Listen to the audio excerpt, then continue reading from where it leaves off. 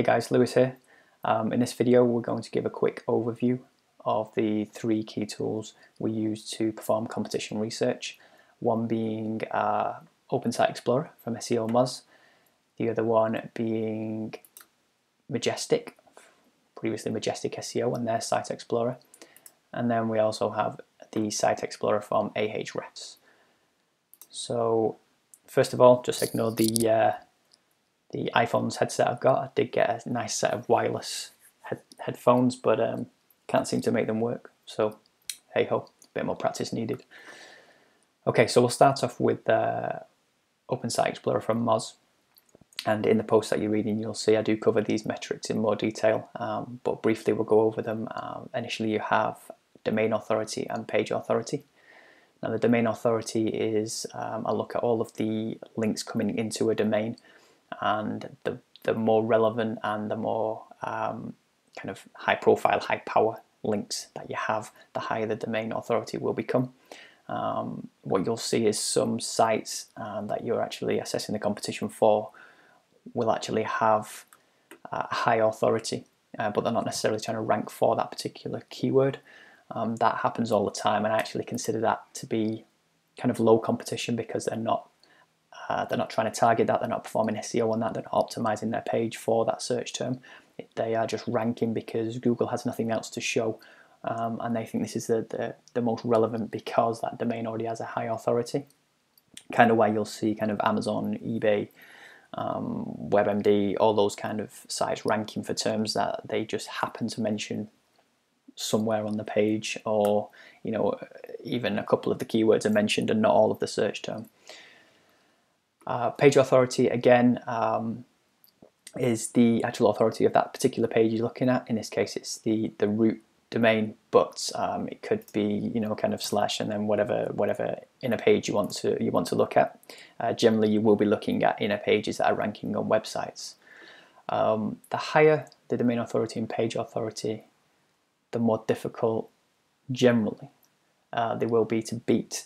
However, they can be inflated. Um, by um, you know very various tactics. We don't need to cover that in this video, but just pay attention to that and also check out the actual links that are coming in and see if they're kind of generic or they're kind of they're spammy links or you know even some of these tools will show some PBN links even though they're told not to but uh, using htaccess uh, we'll cover that in my uh, in my PBN post but uh, some of them will show that and kind of ignore the uh, the no follow attributes that you set. Moving on, we've got a um, number of, of, root domains linking to the site and then the total number of links coming from those root domains. Um, now what you will see is a big discrepancy in the number of actual root domains and backlinks that are shown in each of these three tools. Uh, Moz is kind of really slipped in my in my overall estimation. It's probably my least favorite of all the tools. Um, the trouble is, for some reason, people still love kind of domain authority um, and page authority, um, which is fine. You know, people used to love PageRank until that disappeared. So, you know, it's it's just a matter of time, I think, before people stop using this and actually, hopefully, they, they do realize that it's easily inflated. Uh, um, so it's easily easy to inflate these metrics.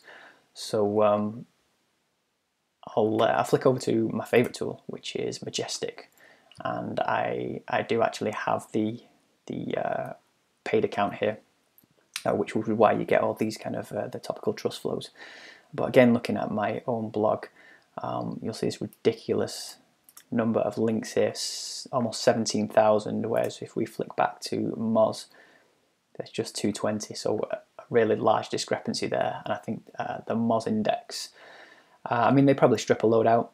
Um, this actually looks better uh, for for my site uh, than Majestic does. I mean, I don't do SEO on my site uh, in terms of off page and building backlinks, but I've got 17,000 backlinks here.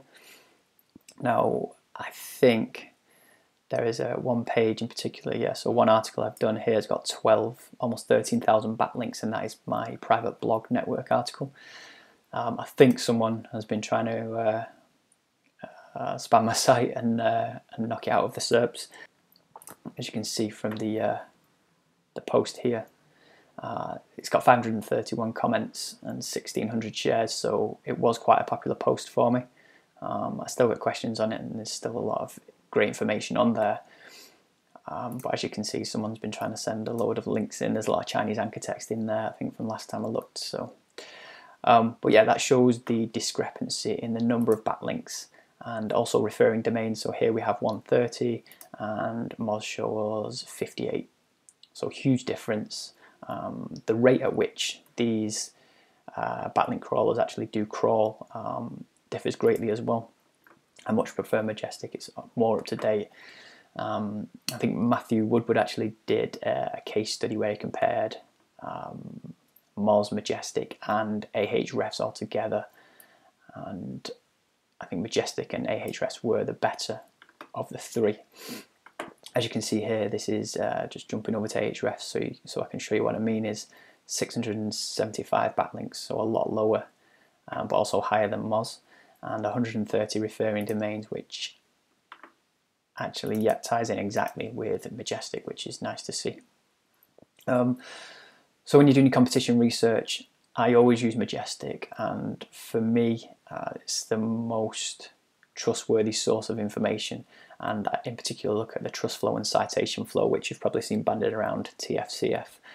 Um, preferably, you have um, a ratio, uh, a one-to-one -one ratio. So if I had a trust flow of 21, I would preferably have a citation flow of 21. It's not always the case, and as you can see, these these artificial links have been, uh, sorry, these spammy links have been built by others and, and whatever else, and the history of the domain because I bought it um, in the aftermarket um, is probably affecting that. But again, I'm not trying to rank for any particular keywords or anything here, so I'm not too worried. Um, and if you came up against my site in the SERPs, you're trying to rank me for whatever whatever keyword I am ranking for, then um, I mean this is quite this is fairly high. I try and look for less than 10 trust flow, less than 15 certainly for my competitors' pages.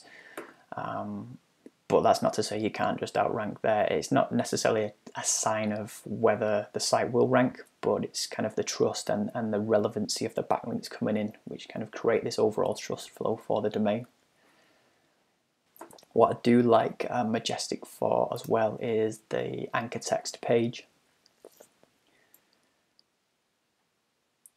So as you can see here, it will jump out straight away if there are any spammy kind of backlinks built.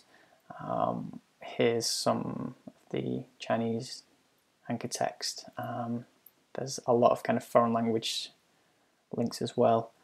Um, here it looks like, see, I mean, they've given me great anchor text, but then that's probably over optimized my page for building a private blog network, which is kind of what the site, the page was ranking for in the first place, um, and arts and photography, which is well completely irrelevant. This anchor text page can give you an understanding of the anchor text being used in the backlinks that are coming into the page. So if you do have a competitor that's building backlinks and doing off-page SEO, you can see what kind of anchor text they're using in order to rank uh, which is perfect because you can kind of try and get the same split across your anchor text to give you the best chance of ranking. Um, last of all, we'll jump over to Ahrefs. I don't really use uh, much of this apart from the number of backlinks and referring domains. Social metrics is a good sign to see whether people are using social to kind of uh, build those signals that Google really likes at the moment. Um, you know, before you send any say PBN links or whatever to any of your pages, then you know you want to build some social signals initially because you know if why would a site get high powered high powered links if it wasn't getting any social traffic or you know no people were, were actually viewing that viewing that page. So that's what I like to do initially. Um, kind of off, off, topic, but we'll drop that in there. Um, again, um, Ahrefs has uh, an anchor text feature, which is also pretty cool. Um, I mean, their site seems to be running really slow today. Um, I don't have the paid account of Ahrefs. I don't really, I don't use it as much. Although I know their backlinks um, generally they give more backlinks and it is a good tool to use. But I'm happy with my paid Majestic account for now. And as you can see here, here's the anchor text coming into my root domain.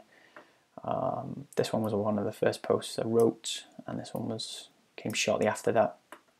uh, but most of it is kind of Lewis and cloud income, which is why I rank for those kind of terms. And as I said, we'll look at the inbound links as well.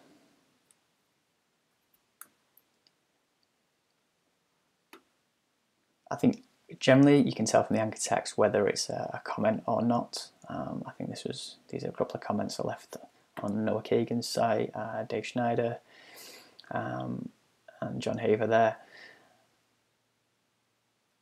These are generally ones where people have linked out to you. But uh, what's good is you can see obviously the the number of social shares that have happened on that particular article and also the the relevancy and how many internal and external backlinks going to and from that page. Uh, so it's good just to check, and also you can check to see when you're looking at a competitor's site if those links still exist. Um, now, my preference is to use Majestic, um, and what I'd like to see is do do those pages still exist? So you would open, uh, sorry, no, do those links still exist on those pages? Um, yeah, uh, so what you shouldn't rely on is the the link type here and it will tell you if it's been deleted or not. You shouldn't rely on that because the index isn't always completely up to date. If what you should do is dig into some of these and open them and just double check that they do still exist. Um, I'm guessing someone actually linked to my site because I don't think I dropped my link in there. Anyway, you, you can view the source, or maybe a Disqus comment link. You can view the source of the page and find, you know, do a search for the text. So overall, what's important with these three tools is that you use them to assess the competition, try and understand how they are ranking, what backlinks they have, and as an extra step is to if you can afford to get the paid tool from Majestic, you can actually extract all of the backlinks, which is I often do for any competition research to see what kind of backlinks they have and whether I can go out and obtain those backlinks. Um, my thought process is if you can gain the same backlinks that your competitor has, and then you can add PBN links, you should win. You, I always try to beat them on on page uh, my on page is, is fairly solid. Um, content length is always um, always higher. Um, there's tables uh, and other pieces of data, optimize alt tags for images, all that jazz. And then PBN links on top of that, you should be able to blow them out of the water, provided you pick the right keywords and you perform this analysis. And it does take time, it takes a lot of time, but it's absolutely key to keyword research that you, you do this and you do take the time because as you read in the uh, keyword research in chapter one, the first keyword I went for was how to make French toast. And uh, well, it's just crazy to think about now that I actually decided to go for that keyword. Um, but I was I was a newbie, you know, and I saw the search volume and I was jumping for joy, and I thought, yeah, I can I can take that.